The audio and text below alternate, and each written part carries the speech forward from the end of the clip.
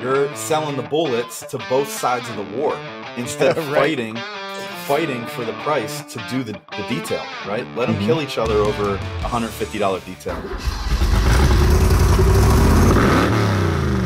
Detailers Roadmap Cruise Control, where we navigate the roadways of life, business, and everything in between.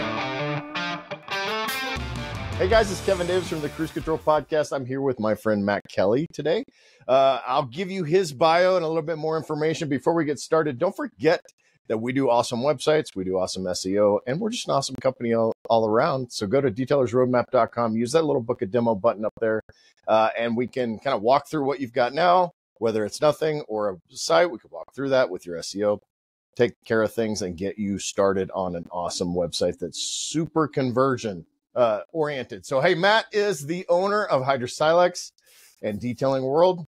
Detailing World is amazing. It currently has 15 locations and is adding new ones all the time. He's also a cryptocurrency uh, investor and stock investor. And something I didn't know until you sent me this, I didn't know you were a drummer. I'm a Oh, yeah, yeah. guitarist, and and Are we, you? and yeah, and, Well, and guitarists naturally don't trust drummers. Uh, I don't trust anybody that can control all four appendages Oh, independently. Yeah. It's, uh, can I tell you something? It's not something you're born with, bro. I look You like a it. retard my first year, for sure. But yeah. That's awesome. But hey, um, the the the first thing I always ask about on guests is uh, on cruise control is give me that superhero backstory, right? Like you're one of those guys, and you know we've known each other for a while. We're not super close, but we've interacted a ton over the years, and I think we know each other fairly well. I think you're one of those guys in the industry that has made a huge impact on the industry, but a lot of people don't really know the impact Mhm. that you've had. Mhm. Um, and so hopefully we can bring some of that out today and kind of share your knowledge. Um, this whole franchise thing is super cool and super innovative uh, in the industry. So I want to talk about that. Uh, but give me kind of the backstory and go far back as you want. I'm interested. Uh, you're younger than me, but you're not 25, so you obviously had a, a world before you know the detailing world. Um, so run through all that backstory for me and go as deep and long as you want. Well, first, shout out to Coach Kemi for making this nice little batch of whiskey here that's going to allow me to talk to talk about myself, Kevin. Um, one of the reasons that you probably haven't heard much about me is because I'm not really the braggadocious type. Like any posts that I do are more related to my my customers or the business or you know whatever it is, but it's never really about like me. I try not to at least.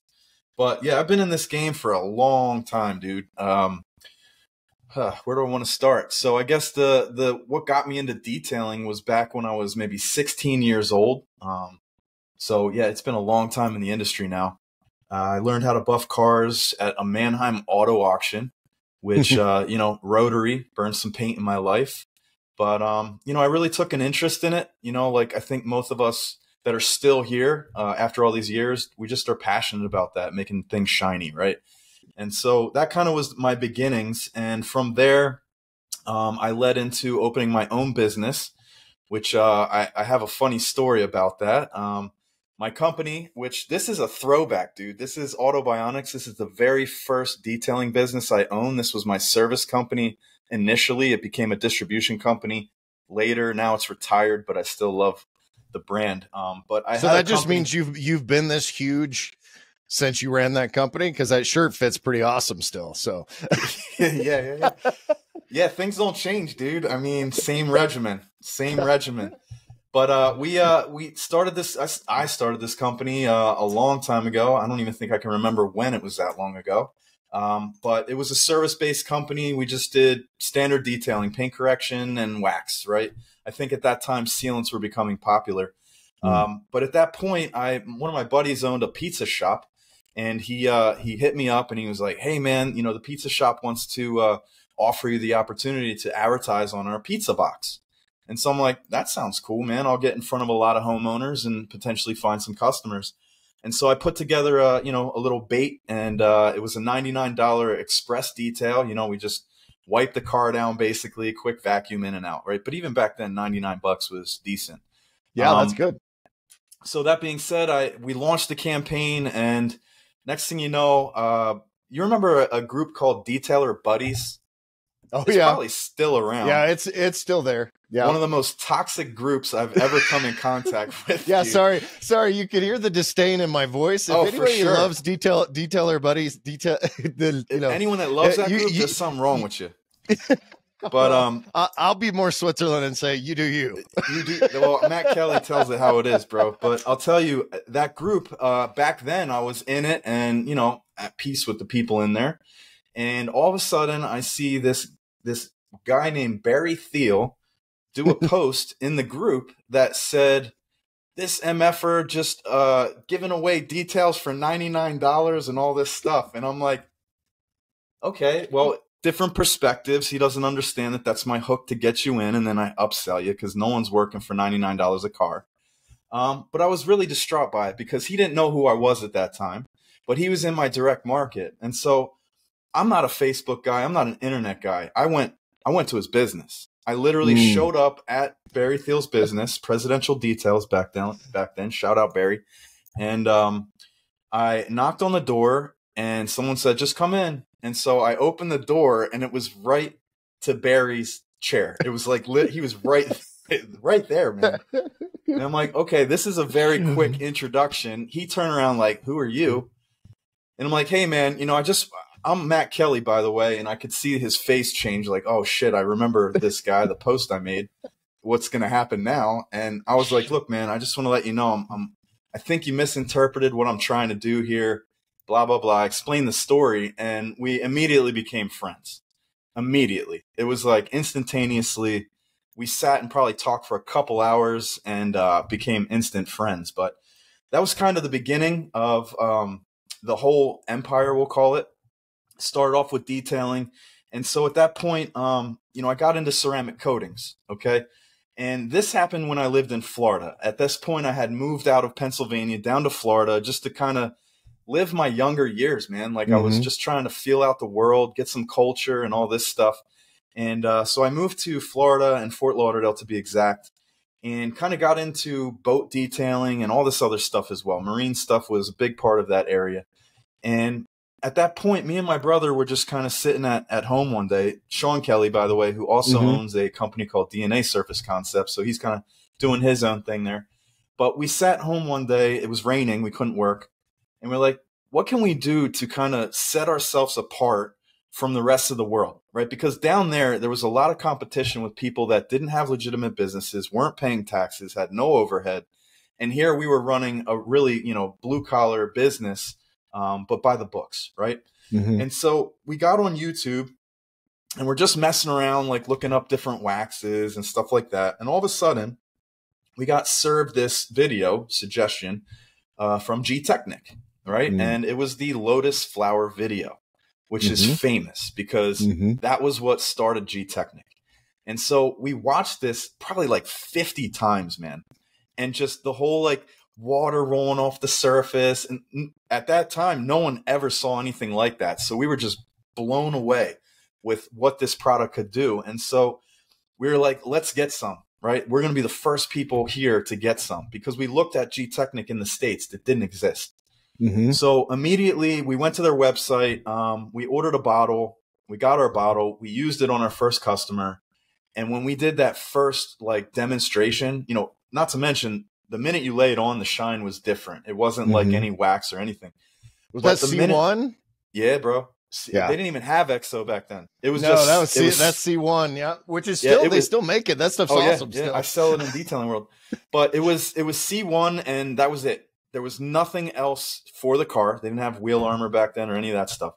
And so we put it on. We washed the customer's car for the first time. You know, maybe a week later, and we were just like, "This is it." Like we just Mm. found it. This is what's going to set us apart. We have some new technology. Um, we're like pretty much the first people that I knew that had this product. And so we just started buying tons of it because our customers were loving it. We were putting it on boats, knowing that Mhm. we didn't know it was going to fail down the road because it wasn't a boat coating. yeah. Uh, but it at least got a good year in where our customers Mhm. like, well, that was better than wax. Um, but we started selling so much of it um, that you know we kind of made waves over at Gtechniq UK. And so by that point, um, Sean and I went separate ways. I moved back to Pennsylvania just because you know, when you live that far from your family, it's very hard for them to come down and visit you. So they're getting Yeah. older, I'm getting older, older, and we just didn't have a relationship the way I wanted to. So I actually parted ways, went back to PA and opened up Autobionics, and obviously brought that technology here to use in that business.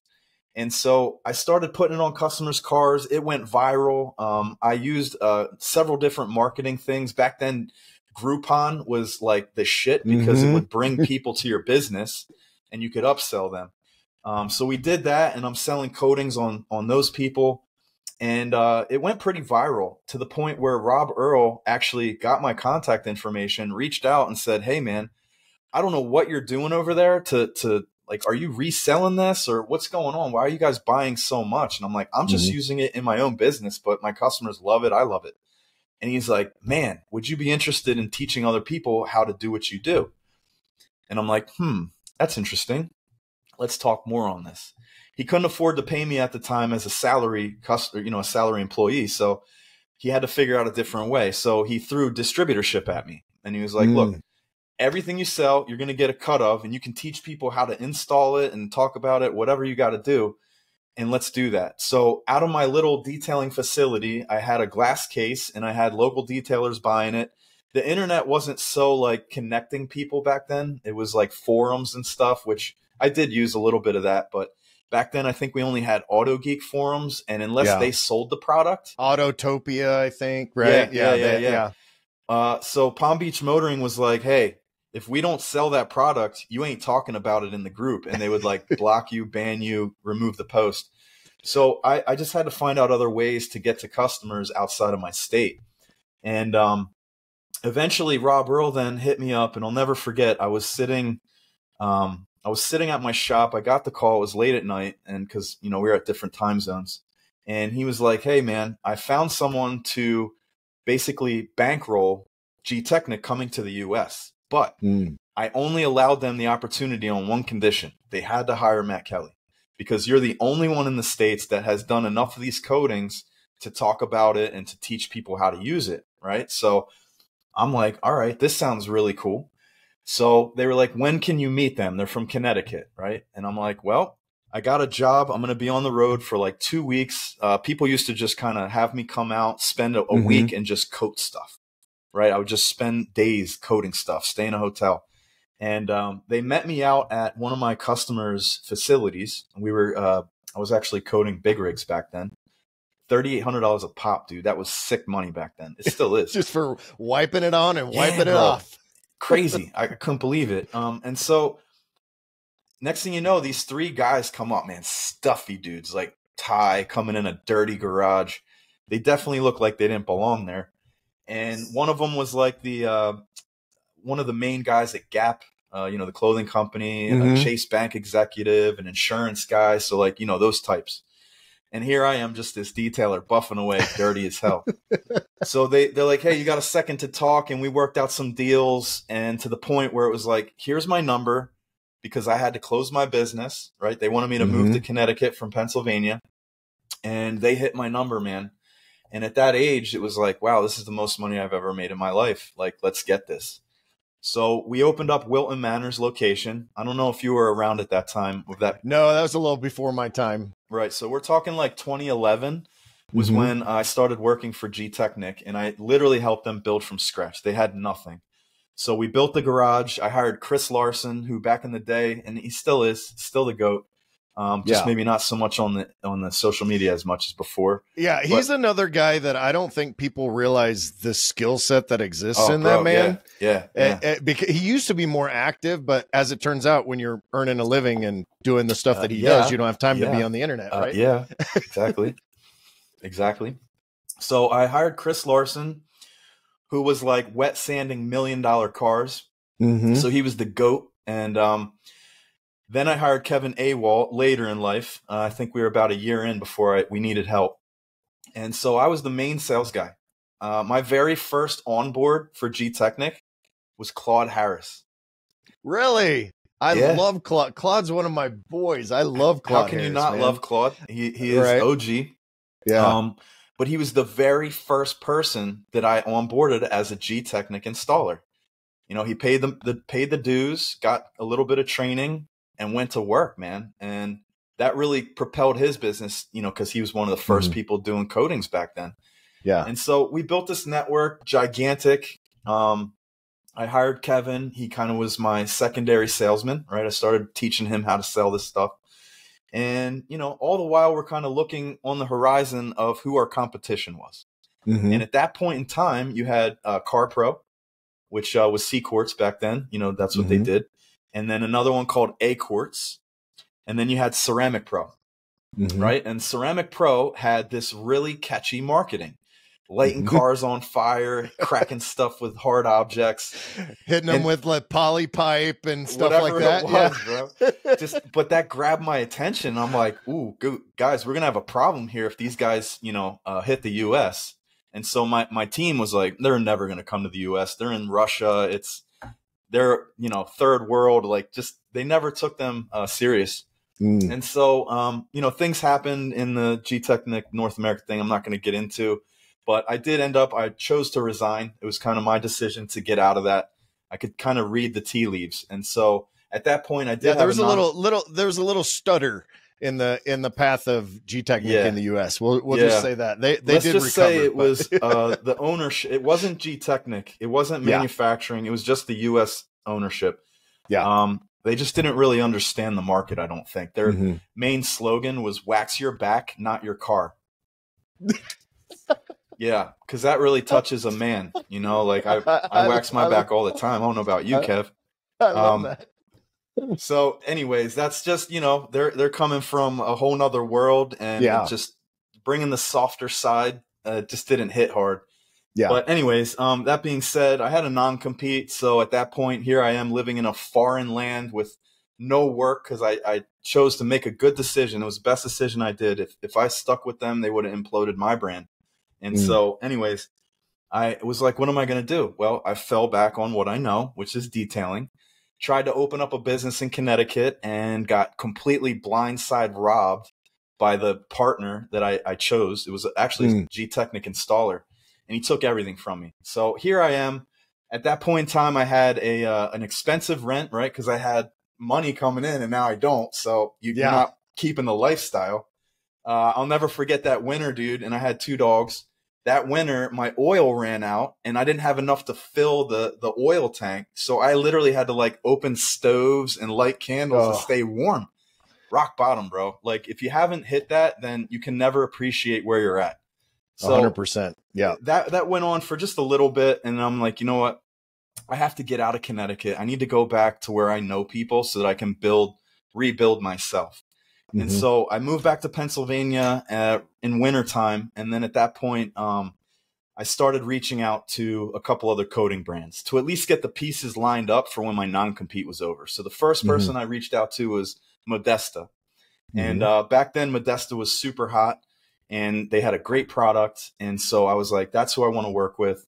And I also reached out to Ceramic. Yeah, bidding. They were bidding on on me at that point because I they knew Gtechniq. They saw what happened in the U.S. We within six months, I was bringing in 1.2 million dollars in revenue, dude, for that company. It was huge.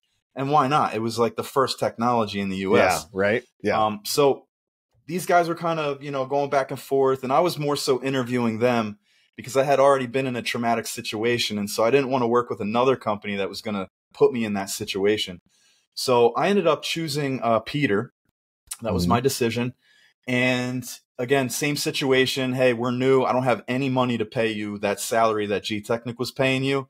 So you're going to be a distributor, right? And he gave me a margin, and I'm like, well, let's go. Let's do this again. And so at that point, man, I literally was working from home, setting up installers, doing trainings on locations and stuff like that, and just began that process of building Ceramic Pro.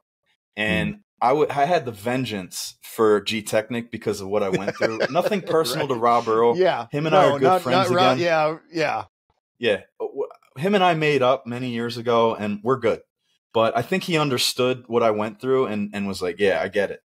But uh, I had a vengeance and it was like, I'm going to take all of Gtechniq's guys that I brought on and convert them. And it was an easy conversion. Why? Mm. Because of the lighting the car is on fire and the, the lighters hitting the car, right? Yeah. The marketing was better, right? Marketing was what Ceramic Pro was built on. The product was great too, but marketing is everything. Well, that's Peter's background, right? I don't think a lot of people know that Peter's background no. is marketing, correct? Isn't it? Or what, really, where, what's his background? He used to sell radon detectors. He'll tell you oh, he was really? a scam okay. artist in his first in his first first business. he was a scam artist because you radon you can't even really detect it, but they were selling these things. So, anyways, uh, he got into more legitimate businesses. Then love him to death. Mm. Great friend of mine. Um, but yeah, so I, I, went to work with him, and he he was on the West Coast. I'm on the East Coast, and we we each were doing our own distribution. And at that point, you know, we kind of uh, brought on other team members. Adam Cote, who took a moment to mm-hmm. get in, in bed with us because he was tied up with XPEL, I believe, at the time. And, you know, who's Ceramic Pro? Why would I change my name, right? And so we finally built a team that was, I consider the all star team, at least that in that segment of life. I don't know what it is now, but yeah. at that point in time, I would say that Ceramic Pro is definitely the all star team and just laid the red carpet out for every other coating brand because we were bringing awareness to the industry to the yeah. consumers that hey look this technology exists buy it from wherever i mean that wasn't our choice. We wanted you to buy it from us but other people would use that to get their brand sold. I'll never forget when i went to sema many years ago probably seven or eight years ago and i went i had peter with me and we were with jim thomas and we went over to corey carruth's booth uh, mm-hmm and everyone thought there Corey, was going to be. Corey was this... a little bit. Corey was a little bit bigger seven or eight years ago, by the way, and probably had a cigarette in his mouth.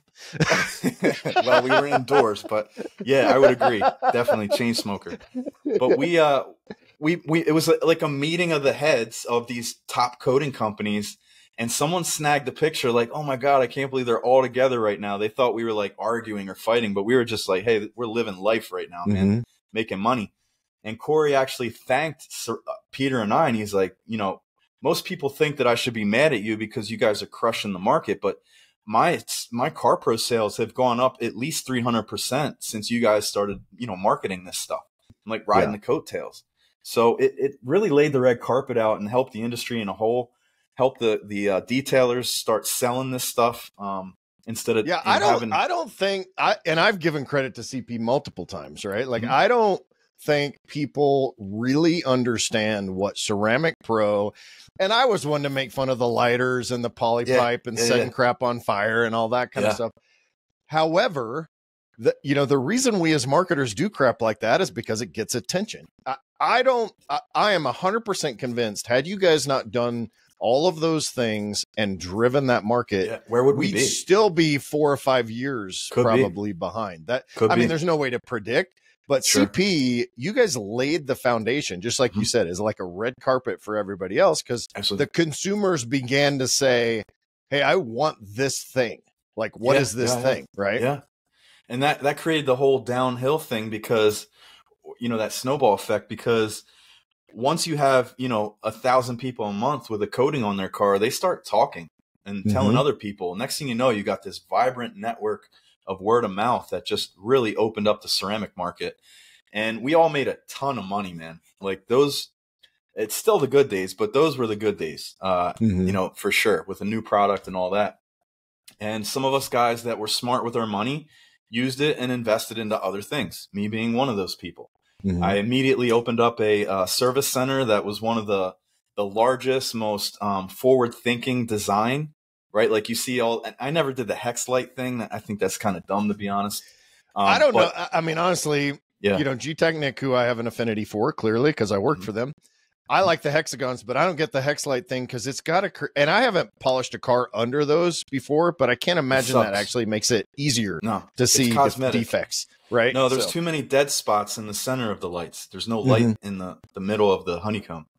But anyways, um, you know, we create a really cool um, service center with I had a bar in there. Uh, we had the metallic floors. We had you know a waterfall in the shop. Like we just went all out to show that look, we're not detailers. Like don't even call me that. I take disrespect in you calling me a, a detailer. We're mm. more of like a protection specialist or whatever right. word we want to call ourselves, but we're different, right? We're we're charging a thousand bucks a car, right? And back then, you know, that was us getting into that momentum going from 150 to $500 for a full coating. That's what I was charging in 2011, 2012, 500 bucks for a full car. And that was hard. That was real hard to get people to appreciate, you know, why, especially the first 10 customers because they were the guinea pigs, right? Um, Michael Abens was very, mm-hmm. my very first customer that I ever coated. That's awesome. Yeah. Whatever is, and I, I, see you're like, oh, Mike Avens and Matt Kelly, we're good. The fact is, is that this guy was there for me in the very beginning, um, where I was getting my shop off the ground. Somehow he found me. I think it was it was on a forum. I got on a TTRS forum and posted pictures of this coating and how it worked, videos and pictures, and he hit me up and he did a YouTube video of him washing the car for the first time, giggling like a little girl, like, "Oh my god, the car can't even get the car's not even getting wet." And uh, he sold me so many coatings because of that video that it was just insane. I knew we had something there. Um, mm-hmm. But yeah, a lot of firsts, man. And so at that point, um, you know, we we created the the service center, and that killed it. Got into the tent and PPF and all that stuff too. And then from there, um, you know, I was doing a ton of trainings for Ceramic Pro. And it's like I'm talking about, all right, here's all the prep products. And then mm-hmm. here's the coating.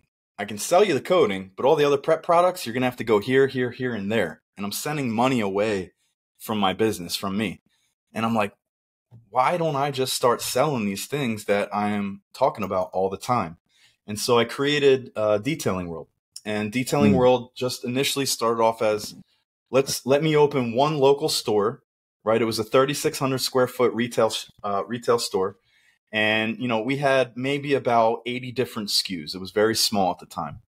And people came in and they were just like man this is so cool that finally we have all the brands that we see on the internet right here in our backyard and we can try them and see them uh, without having to you know we can ask questions more importantly. Mm-hmm. and so it took off man. It took off real fast. And I would say within our second year after the proof of concept, some of my CP buddies, the the installers, the ones that were doing like a million dollars a year, were like, "Hey, man, I see what you're doing.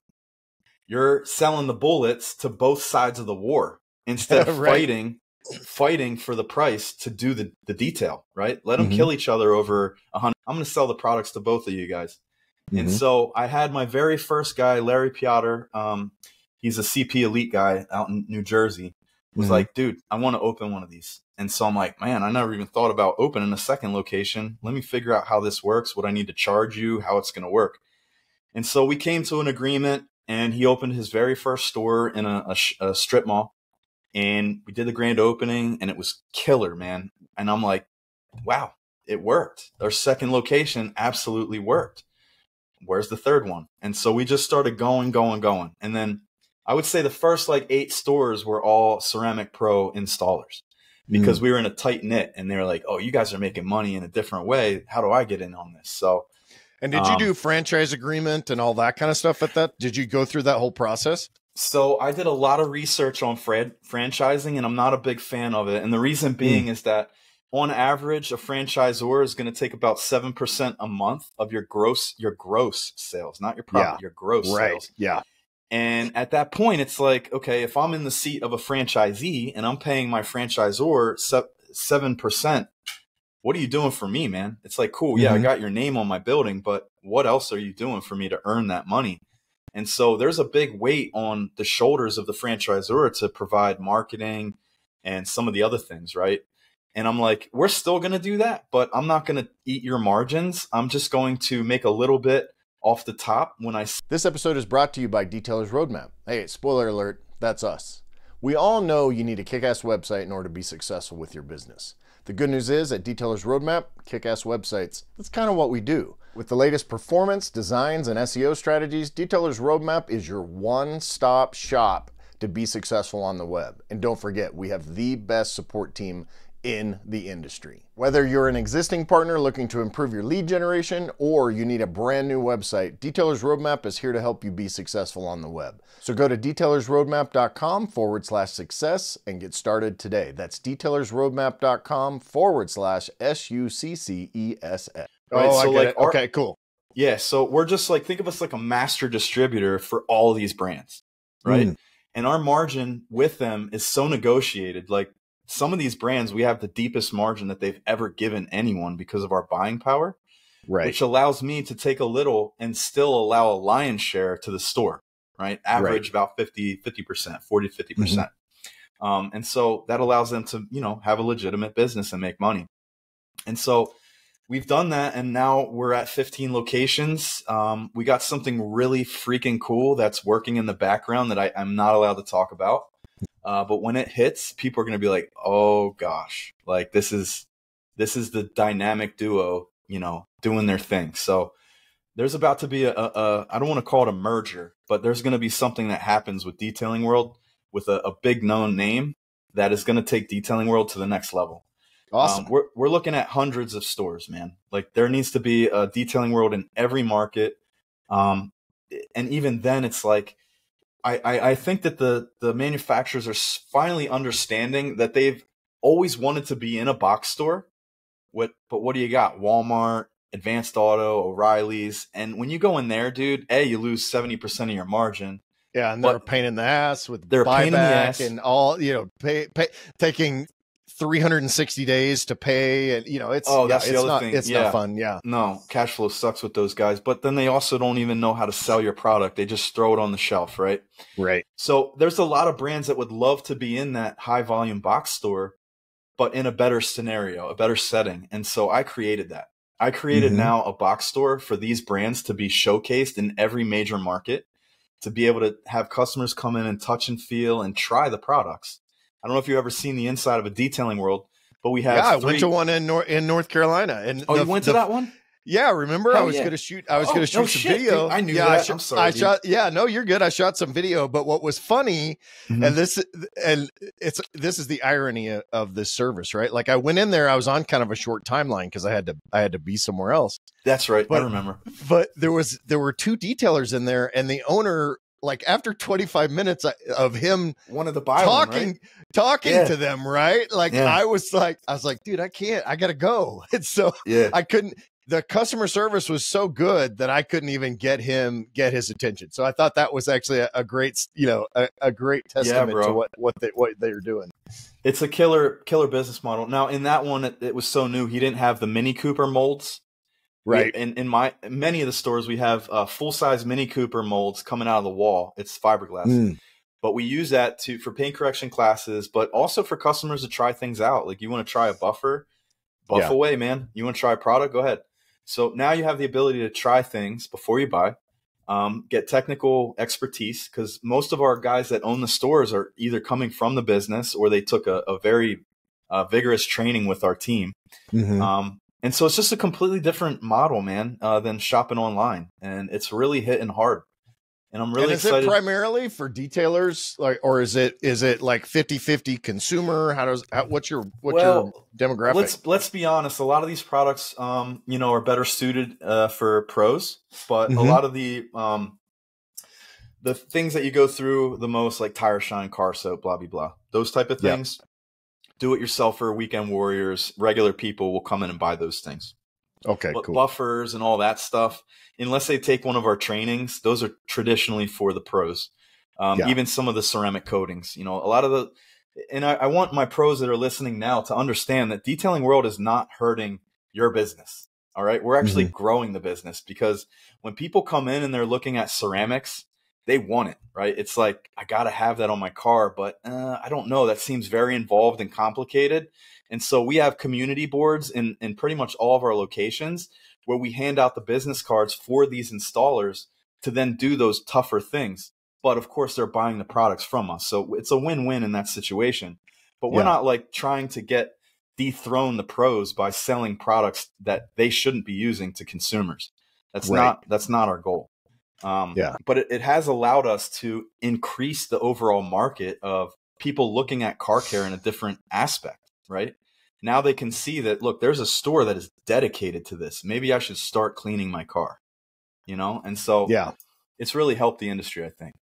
Yeah, I can see that. I mean, you know, one of my brands, the off road brand, um, you know, yeah, one of the challenges you too. That's awesome. Yeah, I mean, on one that. one of the challenges of that brand though is like, well, why don't I just go to Walmart and get the you know this product that costs this much and lasts for two years? I can get for half that amount and Right. oh i for and what they don't realize is it lasts two weeks right but Sure. like that whole that whole education component for for consumers to see there's a reason you pay a premium for premium products right And so, Absolutely. yeah yeah that's got to be helping and like you said you put a buffer in somebody's hand that's never used one they're going to be like oh i see why i'm not going to use this That's on my right, car dude. That's what I'm saying. So, like, I had a guy the other day who's like, "Yeah, I'm lo- really looking at uh, doing GMOs. I watched a YouTube video, and I'm pretty sure I can do it myself." I'm like, "Okay, cool. Let's talk about this." So, first off, you got a buffer, and he's like, "Well, I haven't really got into that yet." And I'm like, "So you're just going to code over the scratches?" And he's like, "No, I don't think I want to do that." And I'm like, "Well, then you're going to need a buffer." Mhm. And he's like, all right. Well, and so then right there, I could see his brain change. And he's like, well, do you have someone that might be able to do this locally? And that's what I'm saying. Like it, it, it, I'm selling the service in, in like an indirect way. Right. So yeah it's really helping the overall industry, man. You know, we're onboarding people as well. We're qualifying and training people so that way, you know, you don't have uh, some dickhead opening up in your backyard that doesn't know what he's doing and trying to take your business, you know? yeah like we're educating these guys so it's like a level playing field um Well, and just the I love it, interest interest in detailing, you know, detailing world, right? It's a big Mhm. sign, purple and blue, and all the all those. Like it's the branding's great. Um, you have great presence, and I think it's just it's one of those things that draws attention. It's like back to the CP, you know, setting Yeah. stuff on fire, right? for Like, sure Customers need to see that. I'm super impressed with your ability to have taken that where it's gone and uh, Mhm. and to continue to stair step over time. Because how old are you, if you don't mind me asking? i'm 43 dude i'll be Okay. 44 in february so Well, i think we're I'm maybe fif- you're I'm- a little I, Yeah. I'm I'll be 52 in December, so um, That's I got bro. I got a That's few awesome. I got a few years on you, but you know what I for people that are listening, especially you know whether you're my age, Matt's age, or in your 20s, to realize that what Matt is has done, and you know myself in in some ways also is continue to build over time to look for opportunities, see where the changes are, see what things I can do, deal with quote unquote failures along the way, right? And then Mm-hmm. Oh, figure out a way a way Yeah. around those. yeah know, you're gonna talk to- this I want you to expound on that ex- and expand on that a little bit. Like, what is it about you? Um, because I, you know, the first time I met you, and every time I've talked to you, I have this same sense. You and I are pretty much cut from the same cloth, and you know, we kind of have that same that same mentality. Can you describe like what it is about you that helps drive you, um, like towards this? Was it, you know, you said just like with the drums, right? It, you weren't born with it you had to learn how to do it. Is it with sales networking looking for opportunities investing all of those things? Do you think there are certain traits that you were born with or did you learn those things and what are they? So without sounding shallow i would say it has a lot to do with pride. Hmm. here's why. You have an idea right? The minute you put it into play there's no turning back. You Mm-hmm. can be a failure or you can just keep busting your ass until it works. And so what I do is I just go head first into these opportunities with a little bit of fear, but more so like again, the pride is like I'm not going to let it fail. Um, Mhm. but I go head first in this opportunities and creating like such like right now I got this big company and like people are like, "Do you realize what you've created?" And I'm and if I take a second to think about what I've done, I'm like, "Oh my god!" Like I get anxiety. Like Mm. All these things moving in the background like and it's just me right it, it is just me at the top dictating you know okay guys this team member is going to do this this team member is going to do that but it all relies on the pride of of of success like i don't want to Mhm. be a failure right and right so that maybe was instilled when I was younger, you know, playing sports when I was young, trying to, you know, win tournaments and whatever it is. I was always very competitive. And so I think that um, my drive is based on just succeeding and being pride, uh, prideful uh, in that, not in a, a narcissistic, pompous type of way, because it's internal. I don't. I'm not online saying I'm I'm doing all this and I'm an em- creating this empire. Like I'll I'll promote like, hey, we got a new store opening, cool. But like I'm not sitting there, you know, trying to be like this guru, right? That's not who Right. I am. Yeah. My mine's an internal battle, right? And call it ADHD too. I think there's a lot a lot of that in there too. I always got to be doing something, and um, Yeah. sounds so- familiar Yeah, right. And that's a good problem to have as long as you can harness it. You got to be able to turn off. And, you know, I'm, I'm Mhm. glad you, when when we were getting into uh, doing this interview, you had mentioned about talking about fitness and some other stuff too, which I think is uh, the rest of the pie, right? Like my Right. life is not just based on going to work every day, even though it feels Mhm. like that sometimes. Um, there are other things that keep me going, right? You got to Mm-hmm. stay healthy. And I'm talking about brain health too, man. Like for me, dude, God is the number one thing in my life. Um, Mhm. I read the Bible every single night. I pray every single night. I pray all throughout the day. That's my purpose. And then I build on that, right? Um, but you got to have other things in your life that can allow you to vent out some of that negativity, those failures that you, you mentioned. Working out, that's a huge one, man. You know, if I'm Mhm. having a bad day, I go to the gym and get it in. I feel much better afterwards, you know? Um, but you got to vent that stuff. So, Yeah. And having that, you know, mindset, uh, you know, I, I want to get your address after we're done. I want to send you a, a, a book. Um, b- because I bought a bunch of them. We had him on the podcast. His name is Marcus Collius. Okay. Um, he wrote a book called Play a Bigger Game, which is, which is, you know, he's my personal coach. Like he's my business coach, Cool. my life coach, and a really, Right and a really good friend of mine. But he talks about mindset as the basis for that. And he also, he's All a, he's a Christian. So he talks Mhm. about that in that context, being a person of faith. Um, but it all comes from that mindset, right? Like you've had your fair share of negativity towards you. We all we Mhm. all have. But Mhm. if you absorb that and let it eat you up and you go after people as a result of it, that doesn't serve anything. Like that's not going I, to serve can I say this? All the negativity. So there's a lot of people on here that probably never like they've heard of Matt Kelly, maybe in a negative connotation or a positive connotation. Doesn't really matter. But eh, negative situations are usually because they just they don't know me, right? And so Mm-hmm. they heard a wives' tale from a friend of a friend of a friend of a friend, but it's never Right. really the truth, right? Yeah. Um, but if you let those things, like you said, attack you, it's like a cancer, man. And it's like Mhm. you're worrying what other people think about you. And so my my my biggest piece of advice on this podcast would be stay the hell off of social media. Yep. Use it for business and get the hell out. Because there is a lot of angry and weird people on there that will just try to destroy you because they feel bad about themselves and they're really mad that like a person like you is doing better than them because they feel Mhm. that they're better than you. And so that's where a lot of that negativity comes from.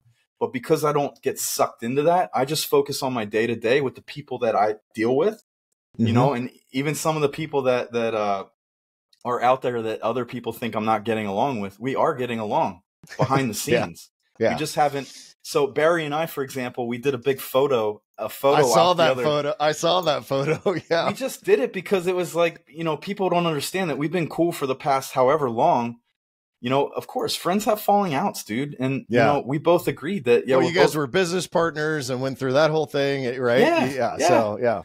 So you know any like alpha is going to have a little bit of ego that's who we are but at the end of the Mhm. day it's like we're we were friends first and so we Yeah. finally stood outside of that and said you know what it's been too long man like we need to go Mhm. back to that and now him and i are actually going to be doing some business together so Nice. Uh, we the only reason I posted that photo was so that the rest of the world would know that we're cool. that was it. Because now it opened doors for me and it opened doors for him. So my fans will now do business with him and his fans will now do business with me. Right? Yeah. Because people are so loyal, it's crazy, dude. Um Well, and But, people yeah. create these scenarios that that don't exist, right? Like this isn't Correct. MMA, this isn't boxing. Like yeah. you know, like we're Yeah. you know we're not. And I always joke, I say we're not curing cancer with this detailing stuff, right? Like No. it's not that it's not that serious. We're, Right. I think so many people make that so serious. To your point about social media, I, I got a side story about that. So Sure. from that book, what he one of the challenges was get off social media for at least 48 hours completely, right? yeah. and see what it does. So the the Thursday, so I did that on a Friday. So the the Thursday before, I'm trying to read this book, right? And my ADHD is just going like I'm getting a paragraph at a time. Then I want to check my phone, you know, getting a notification, all this stuff. So I bought this app called Refocus, which basically Okay. turns off all social media and Nice. anything you want off your phone. Sure. So I haven't had social media on this phone working for now Awesome. uh, eight nine days. But after it was crazy. After those 48 hours, I sat down and like I could easily read like 25 pages with without even looking up, which is primarily what I would do normally, right? So like Yeah. I'm re- I'm actually rewiring my brain to not need that constant dopamine hit.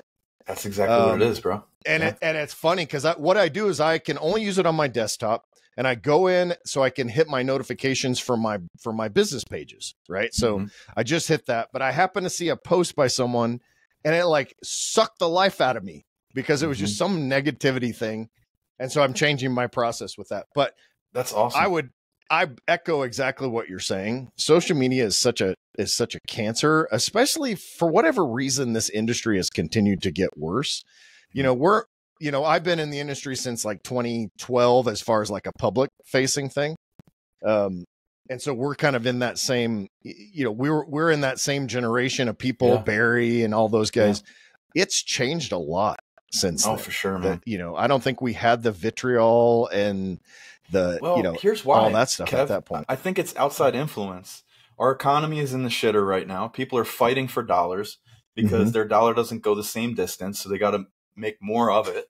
And there's more people out there doing it. So now you're just getting angry because people are taking food out of your mouth, and that's the re- reality of it. Like that's the the core problem, right? It's it's animalistic. You know, why do Mhm. dogs bite another dog that tries to get its food?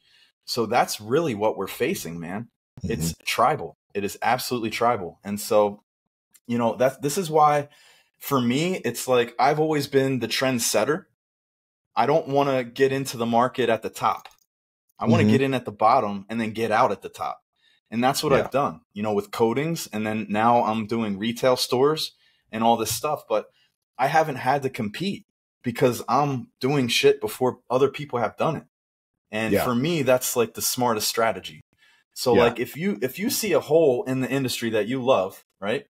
Figure out a way to fix that. Fix that that situation. Maybe you're going to speed up a process or you're going to create something that that helps someone do something better.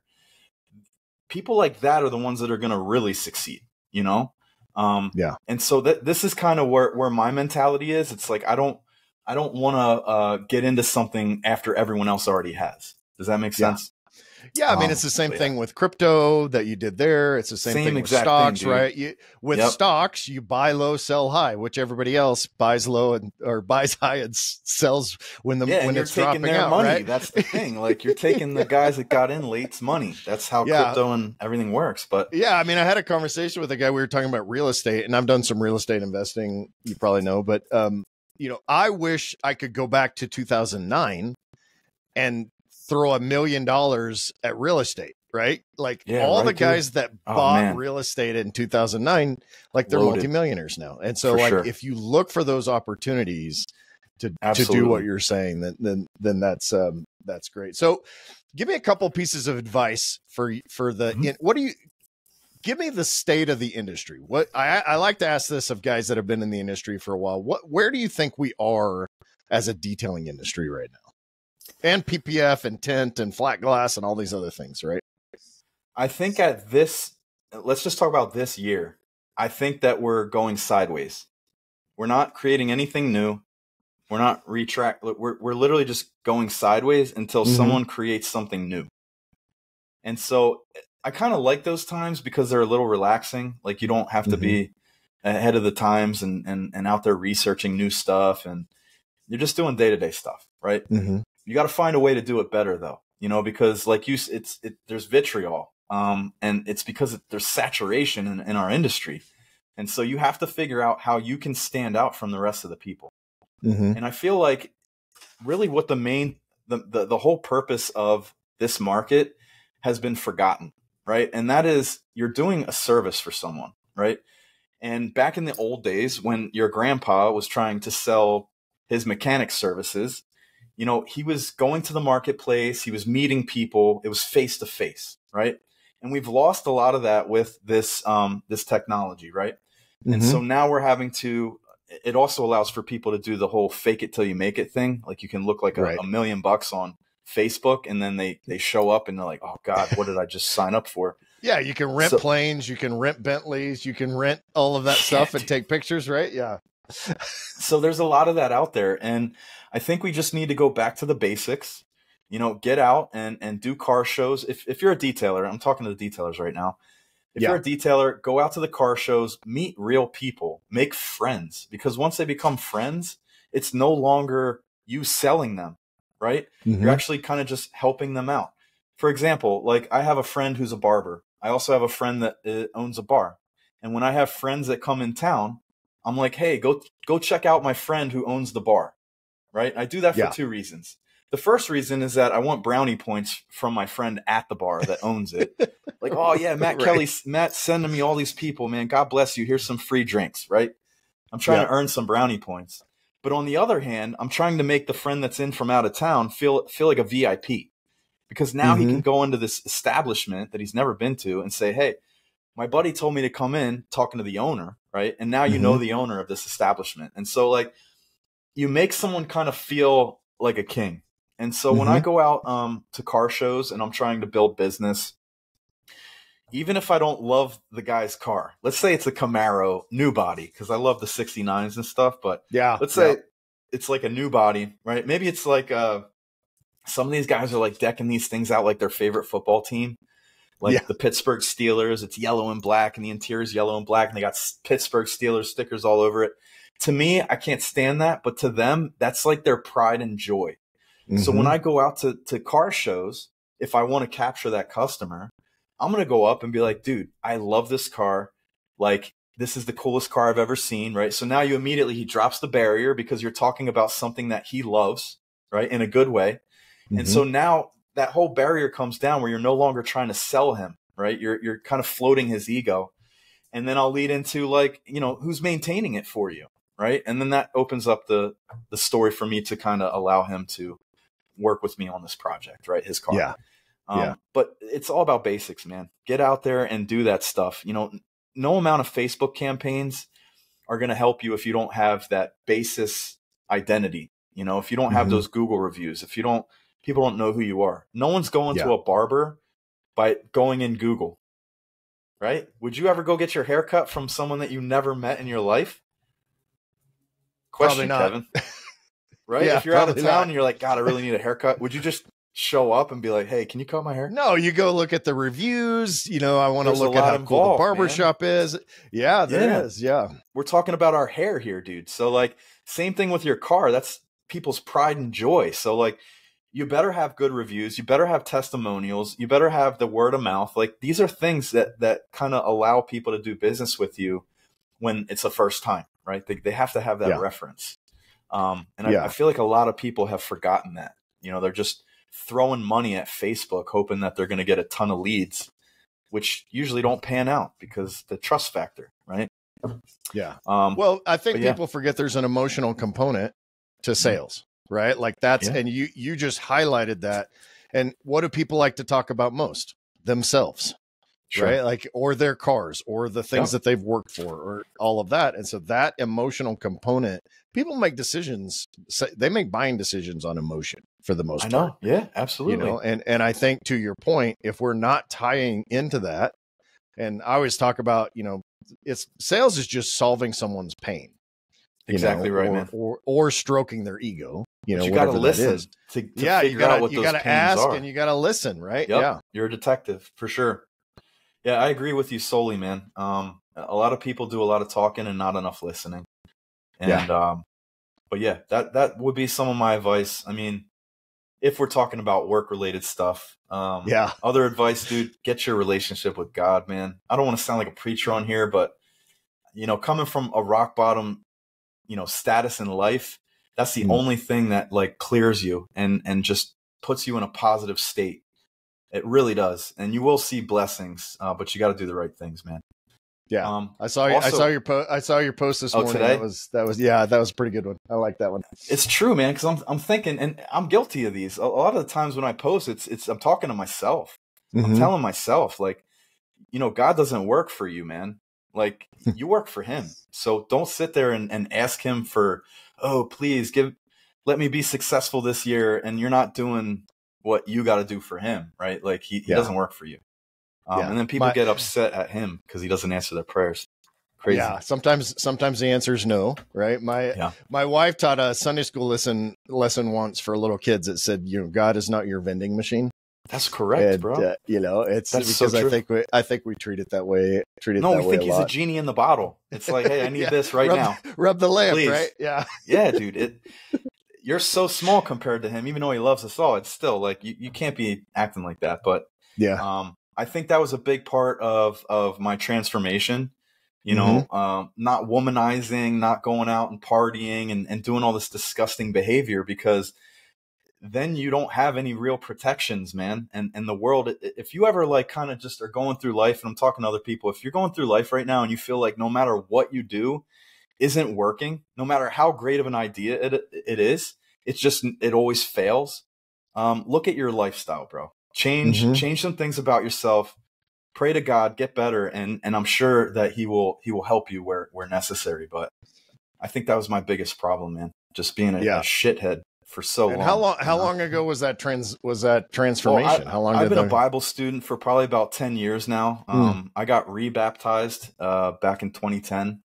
It was the best thing I ever did, man. And Nice. you know, I'm not I'm not a preacher by any means, but I just I see it, you know, firsthand. Mm-hmm. You can't see God's hand and then and dispute it, right? Like I, I see it. Yeah. Um, whether it's through success or just saving me in certain bad situations that I got myself into. But it's real. It's always it's always situations we get ourselves into. yeah, dude. We're imperfect, man. We make bad decisions. That's what we do. But uh, Hey, I yeah, want to man. before you know before we, I love that, and Well, you, I mean, go, you, I'm making a shameless plug.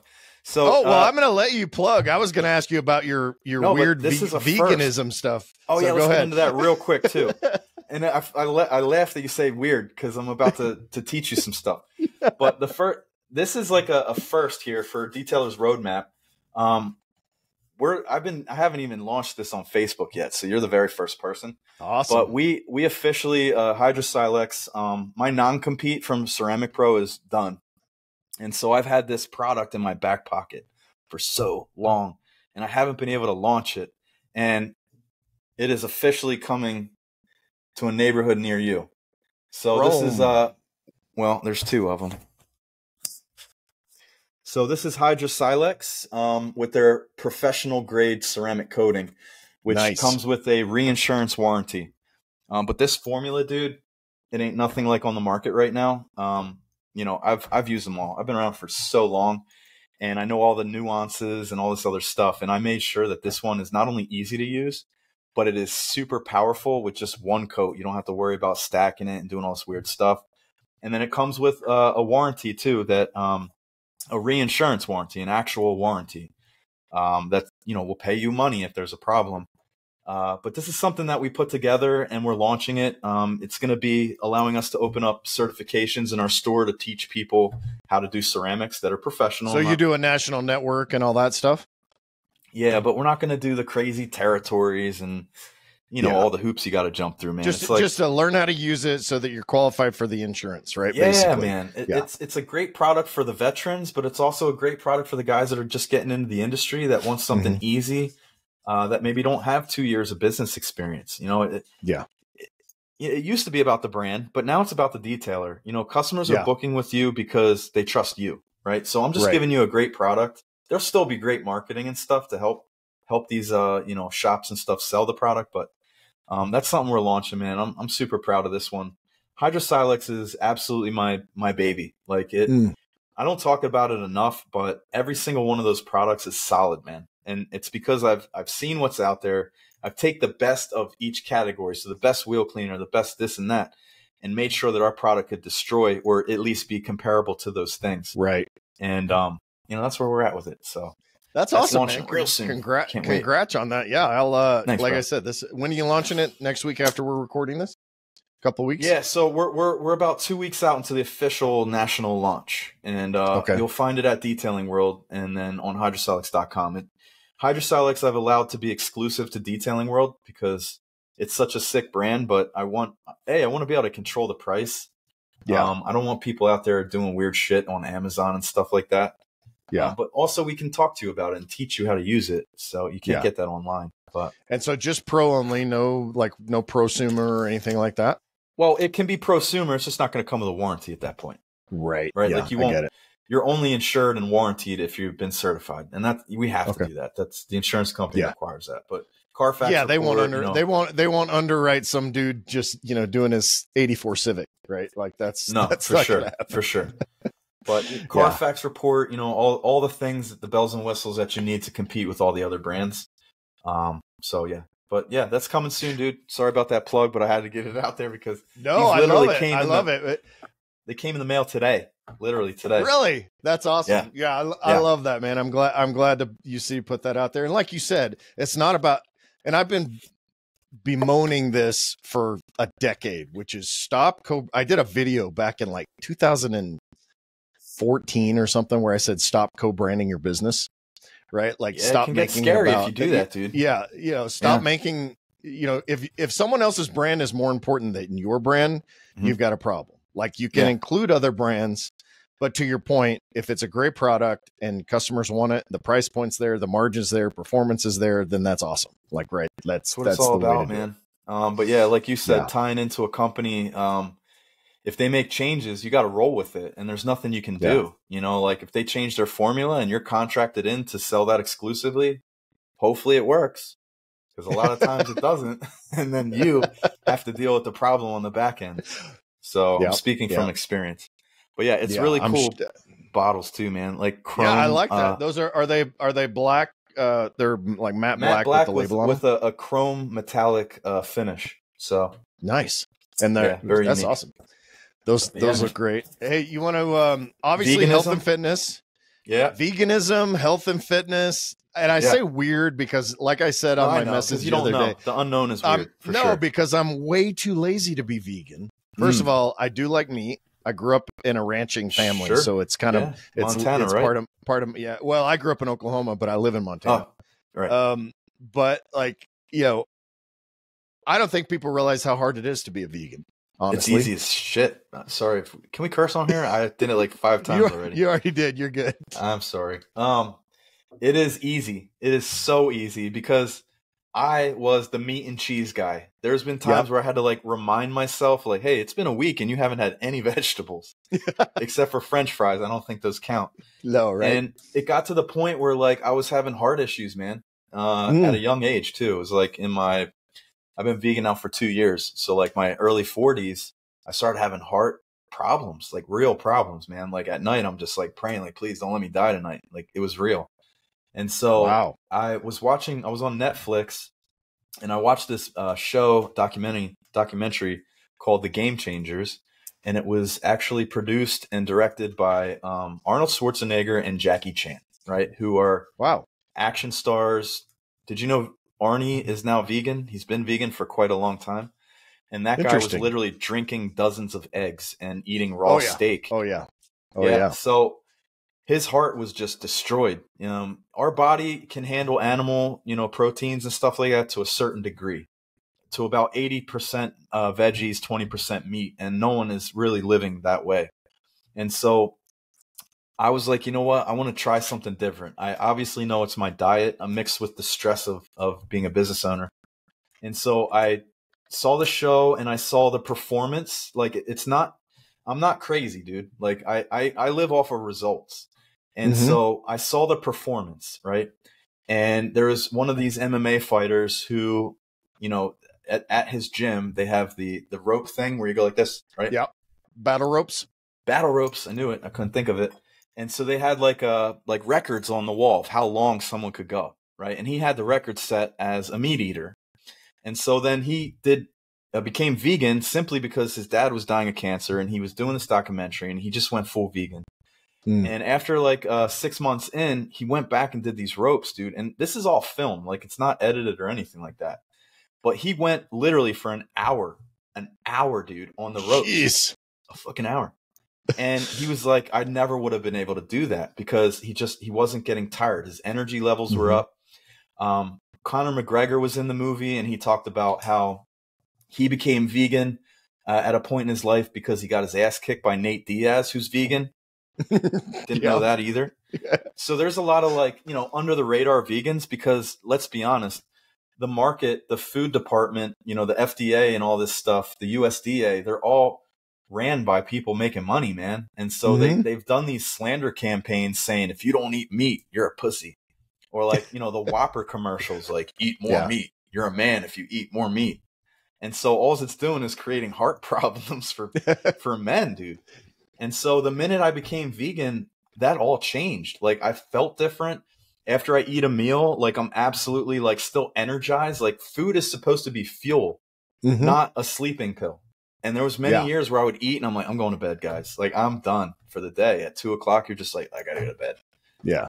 I don't feel that anymore, dude. I don't feel that. And so back to your point that, you know, it's it's hard to be vegan. It's really not, man. Once you get into that rhythm, it's yeah so once easy. you and and let me clarify the reason it's hard is because it's not just hey let me go eat salads all the time no, it's like, not that. I don't eat you I don't eat salads at all. yeah but i mean like me. you know a lot of people misunderstand that it being vegan means a certain thing but being in order to be a healthy vegan you have to combine your proteins You need protein. anim- animal proteins are complete vegetable proteins are incomplete so you have to combine well you have to mm. combine them right no, you don't. So let's talk about this. Animals. A gorilla. What does a gorilla eat? Uh, vegetables Yeah. And the same the same ones. Could you go in the ring with a gorilla? That thing will tear your arms off. yeah right? true Where does that muscle Yeah. come from? Plants. that's true Plant protein. Um, the world's strongest man. You can fact check me on this. The world's strongest man's vegan. He lifted up like two thousand tons. I think it was two thousand, and and and like carried two thousand tons straight vegan. Uh, rhinoceroses, hippopotamus, they're all vegan, dude. So Yeah. like you have to look at these things, and um, again, it, I think really what it comes down to is is the fear is that we don't know how to transition into that. We don't know what Yeah. to eat. We don't know. Maybe some guys don't know how to cook, so they're they're throwing a hot pocket in the in the microwave, you know, because they Mhm. just don't know how to cook. There are processed vegan things for that situation. I would recommend not. That's not true veganism because you could potentially get lab meats. You could get bioengineered stuff if you're doing anything processed for that matter. yeah Which, by the way, read your labels, man. I was in the grocery store the other day and I, I really got into reading my labels. There's like eight out of 10 products that are bioengineered food. And now they have Yeah, to tell you on the back. Yeah, it's bad. Yeah. And that's one of the that's one of the health advantages of going vegan is that if You're you do it foods. correctly, you eat whole foods. You don't Right. eat processed foods, which I eat I you know, I like I said I'm not a vegan. Mhm. I eat cleanly. Like I don't eat crap food. I don't eat processed food very re- you know, very very uh sparingly and all that. Like so, Mm-hmm. you know, even if you don't go vegan, take his advice More and read your vegetables, dude. labels and eat more vegetables and, get- and stop eating processed foods. Yes. And your vitamins come from veggies, dude. Mm-hmm. And when they're digested from an animal, you're not getting the same amount. Like, Yeah. it's, it's really downgraded. So, if you're gonna be a meat eater, I got no problem with that. Like, I'm not the vegan that's like, oh, you're, you know, you got to be vegan or you're not my friend. Um, Yeah. It's just that you need to do it right and and just eat more vegetables at least. If you're gonna eat Yeah. meat, cool, eat vegetables. Yeah. And if you can cut out dairy, you're way better off, dude. Dairy is, is one of the worst things. One of the Yeah. worst things. And dude, I love cheese. I love it. but the vegan cheese is just as good these days, and so and it's healthy. Yeah, It's I, I like, will say that the products, you know, and obviously changed. you have to be careful because there are some processes, right? You know, so you have to kind of like you know, you know limit the amount of that versus your whole foods and, and there should that. be But, five ingredients at max in what you're eating. Yeah, and you should be able to pronounce and understand what they are. Right? That's the other thing. I like that. Yeah, and I mean, yeah. ultimately, the point is that Matt's a healthy guy. He works out, he eats right, which helps him to be a higher performer. Yeah. You know, better in business, better mentality, all of those things, right? So if you if you ignore all the conversation about being a vegan and just take away that if you're not in a healthy state, you need to work on getting in a healthy state. Yeah, change Work out something. more, Don't eat do the same thing. Yeah, yeah, and you know, don't you don't have to change everything at once. Pick one thing Correct. eat eat, eat more uh eat more vegetables That- that's, hundred that's percent. the way to. If you can take anything out of this podcast today, eat more vegetables. You'll be more successful. i love it hey man if people want to reach out to you and learn more about you or find you know information about uh, HydroSylex and detailing world and all that where where do we go Um, so you can shoot me an email at matt, M-A-T-T, at detailtheworld.com. That's my direct. And I'm, I'm open, man. I don't, I'm not a snobby type of guy. You hit me up when I get the chance. I will absolutely reply to everyone. Um, or you can, you know, follow our Facebook pages, Detailing World, etc. I'm on Facebook too, Matthew Kelly, M A T T H E W K E L L Y. Um, you know, just follow me on the regular places. Uh, don't be afraid to reach out though. I am absolutely a very down to earth, open type of dude. I've mentored a lot of people, and I don't charge you anything either. Yeah. So, um, yeah, that's where you can find me. Dude, I really appreciate this. You know, like I said when we started, we've been friends for a long time. Yeah, I, man. I wanted I wanted to po- have you on just to learn more from you and let people, you know, kind of learn about you because I think Mhm. that that's like you said, you know, whether it's me or you or anybody else that's had kind of a higher profile, you know, part of the industry, it's always good to see the backside, right? The Yeah, to, yeah, to yeah. get the backstory and kind of see what the real truth is and and all that. Dude, so most of us are just regular people like all of you out there. Um, we just maybe figured out a different way of doing things. So yeah, learn from our mistakes.